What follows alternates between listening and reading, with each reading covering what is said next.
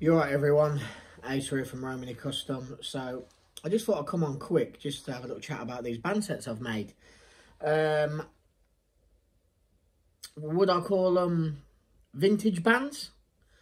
Possibly so. As vin well, they're not as vintage as flat bands go. I suppose Theraband Gold's more vintage, but these are bands you can't get anymore. Theraband Gold and all the other colours of Theraband you can. discontinued bands, vintage, whatever you want to call them. The vintage to me, that's the word I'm going to go with. They are precise 0.65 Gen 1. Uh, back in the day, it was called the natural precise, as it's natural in colour. Uh, I've got these cut at the taper that I used to use, 2317. I used to shoot an active length of, I think, 150 millimetres, so around about 6 inch, 15 centimetres. Uh, these are a little bit longer. They're going to be around about 160 after clips, 165, something like that, and then 155 with wrap and tuck. I'm not wrap and tucking these, I'm using them on a clip frame. I'm going to use them on a Titan Hunter from uh, Catapult Carnage or a companion from Catapult Carnage.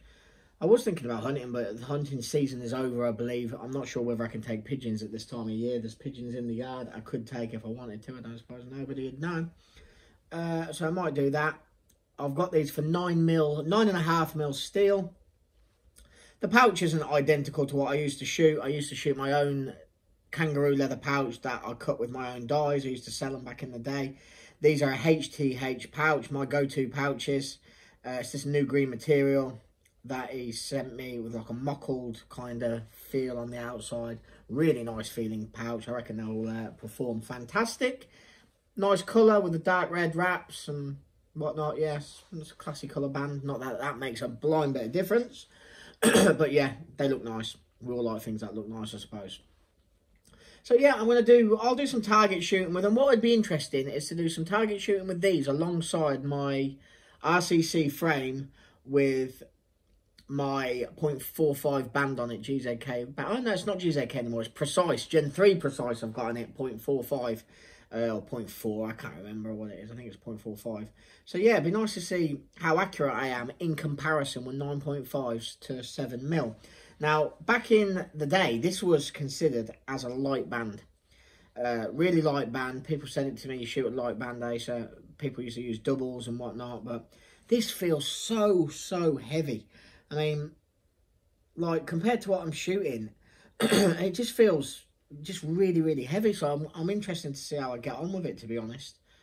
How long has it been since I've shot this type of band? 2017? Early 2018? I'd say more 2017, to be fair. Wasn't the last band I shot before changing to sevens and light bands? I shot a GZK 0.66 and a 0.62 I went down to. But this band was known for lasting well. As I remember, I used to get around 300, 350 shots to 400 shots out of this band and this cut. Uh, I'll probably get a bit more out of these because they're a little bit longer, but the little bit extra length, yeah, will help them last a bit longer, and they will help me with the, the draw. Because, like I said, it's not, it's not, it's not a heavy draw, but it's heavy in comparison. Like it feels heavy to me, but yeah. What would we call them?